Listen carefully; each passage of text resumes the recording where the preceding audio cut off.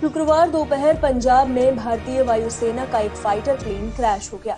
नवा शहर ज़िले के चौहाड़पुर में मिग 29 क्रैश हो गया और पायलट ने प्लेन क्रैश होने से पहले अपनी जान बचा ली।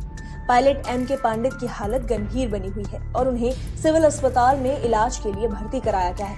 आपको बता दें कि मिग 29 के क्रैश होने की खबर पाकर आसपास के लोग घटनास्थल पर पहुँचे और लोगों ने देखा कि फाइटर प्लेन दुर्घटनाग्रस्त हो गया है। और पायलट भी वहीं पास में जख्मी पड़ा हुआ है।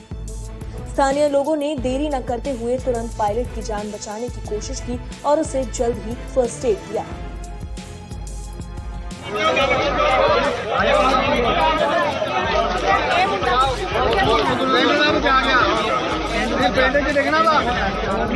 ये लोग हैं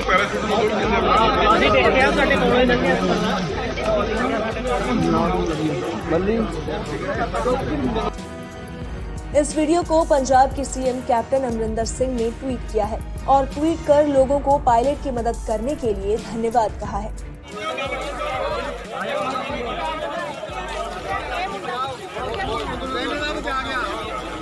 ਪਿੰਡ 'ਚ ਡਿੱਗਣਾ ਵਾ ਇਹ ਜੋ ਉੱਤਰਿਆ ਇਹ ਪੈਰਾਸ਼ੂਟ ਅਸੀਂ ਡਿੱਗਦੇ ਆ ਸਾਡੇ ਕੋਲੋਂ ਹੀ ਲੰਘਿਆ ਬੱਲੀ